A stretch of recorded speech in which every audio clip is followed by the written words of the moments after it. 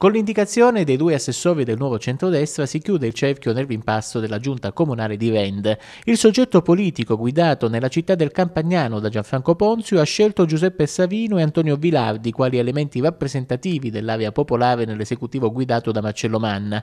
A Savino, ingegnere che vanta collaborazioni anche con l'architetto Renzo Piano, andrà la delega all'urbanistica. Antonio Vilardi, il cui nome è stato caldeggiato in particolare dal coordinamento giovanile di NCD, è un economista esperto in diritto amministrativo, ricoprirà la carica di assessore alle attività produttive. L'assegnazione delle deleghe non è stata ancora ufficializzata dal sindaco. Nei giorni scorsi Manna aveva nominato Pino Munno ai lavori pubblici e Pierpaolo Iantorno al bilancio. Entrerà a far parte della giunta anche Anna Maria Artes, certa la riconferma di Marina Pasqua. In bilico invece la posizione di Ida Bozzo.